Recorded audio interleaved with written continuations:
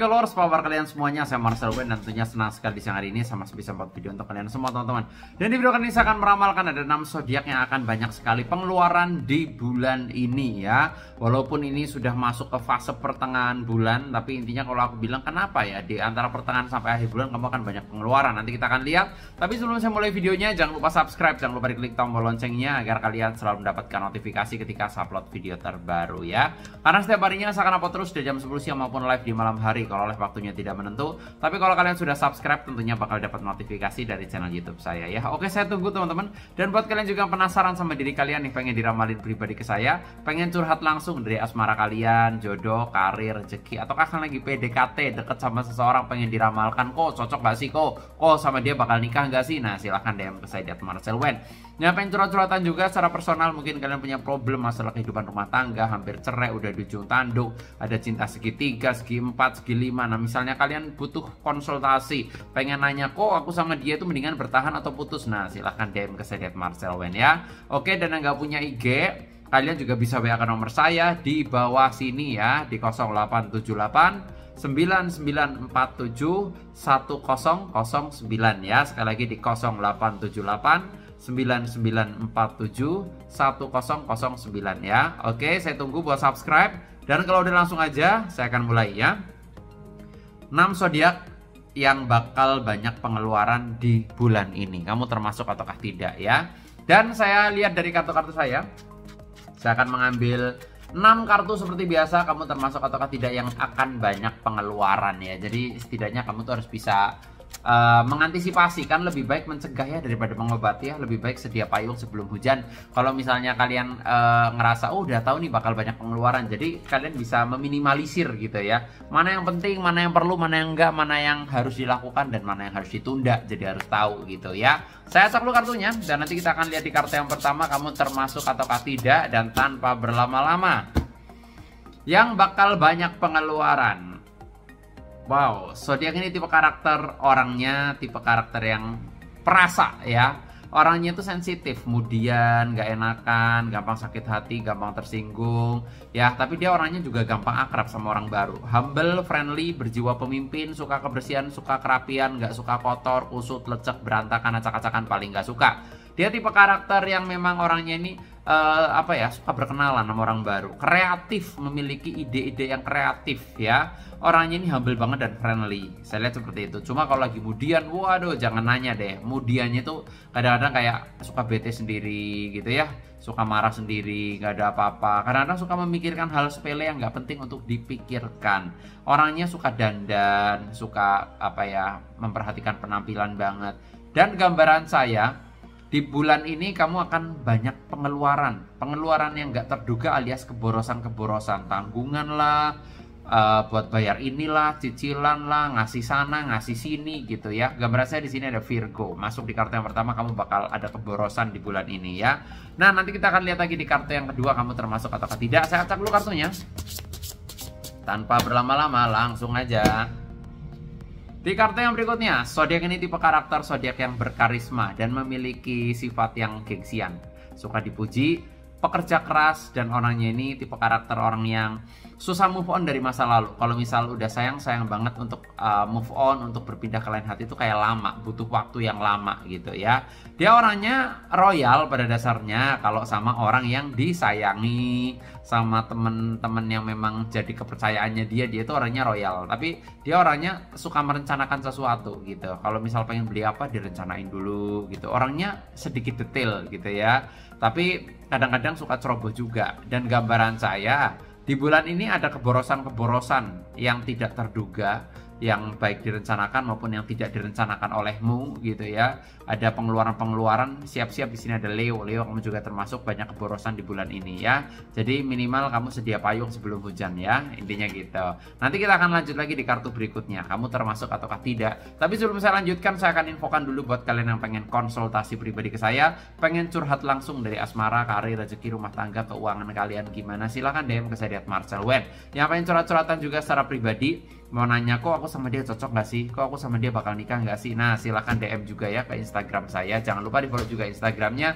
Dan yang gak punya IG silahkan WA ke nomor saya yang sudah saya catat di kolom deskripsi di 0878 9947 1009 ya. Sekali lagi di 0878 9947 1009 ya. Lanjut. Tanpa berlama-lama, langsung aja Zodiak ini tipe karakter yang berjiwa petualang dan suka mencoba hal baru. Orangnya tipe karakter yang kreatif ya, mandiri dan paling nggak suka diatur-atur dan paling nggak suka dikekang. Dia tipe karakter zodiak yang memang orangnya suka bebas. Kalau diatur-atur dia pasti ngerasa nggak betah sama pasangannya gitu. Dia tipe karakter orang yang memang kreatif gitu ya. Uh, orangnya sebenarnya penyabar, tapi kalau kesabarannya udah habis dia emosinya bisa meluap-luap gitu ya. Dan dia orangnya bisa memposisikan diri di mana pun dan kapan pun dia berada gitu ya. Gampang bergaul, gampang akrab sama orang baru. Dan terawangan saya kamu juga banyak pengeluaran entah kenapa di pertengahan ini kamu tuh kayak banyak banget pengeluarannya gitu loh. Biaya-biaya yang kamu keluarkan entah untuk kebutuhan pribadi maupun orang lain gitu loh. Kebanyakan orang tuh boros buat orang lain gitu. Minjemin duit lah nggak enak lah bayar setoran lah bayar arisan lah. Kayak banyak banget pengeluaran kamu kayaknya. Dapat gaji habis. Dapat gaji udah diplot-plotin semua nih. Nanti ujung-ujungnya terimanya tinggal sedikit. Nah, contohnya gitu. Di sini ada Sagittarius, kamu bakal mengalami keborosan di bulan ini. Siap-siap ya. Nah, kita akan lihat lagi di kartu yang berikutnya kamu termasuk atau tidak. Langsung aja. Zodiak ini tipe karakter orangnya ini mudah bimbang dalam mengambil keputusan. Cuma orangnya ambisius ya, ambisinya tinggi ya, tipe karakter orang yang memang friendly, punya banyak teman, bawel. Orangnya itu suka cerita, suka ngobrol, tapi bawelnya tuh bawel yang menyenangkan ya, bukan bawel yang nyebelin gitu ya. Dia tipe karakter orang yang memang uh, punya banyak teman juga dan gampang akrab sama orang baru ya. Dia orangnya bisa menjadi penyeimbang yang baik bagi banyak orang gitu ya. Orangnya tipe karakter yang juga apa ya, friendly gitu ya dan gambaran saya juga banyak borosan di bulan ini entah kenapa atau mungkin kamu kayak banyak pengeluaran atau ada hutang yang memang harus kamu bayar bisa juga atau ada tanggungan gitu ya. Bisa juga pengeluaran kamu banyak banget di bulan ini ada Libra siap-siap keborosan akan datang. Jadi kamu minimal harus bisa ngeplot ngeplotin nih oh ini penting ini enggak gitu ya misalnya ya. Kamu dapat berapapun juga kalau kamu nggak bisa ngatur duit ya habis. Kamu dikasih 10 juta nggak bisa ngatur duit habis. Dikasih 20 juta nggak bisa ngatur duit habis juga gitu loh. Jadi intinya harus pinter-pinter kamu mengatur ya. Lanjut lagi di kartu yang berikutnya. Langsung aja. Di sini ada zodiak yang memiliki insting yang kuat dan intuisi yang tajam. Dia tipe karakter yang peka jeli perasa ya. Pasangannya selingkuh kerasa.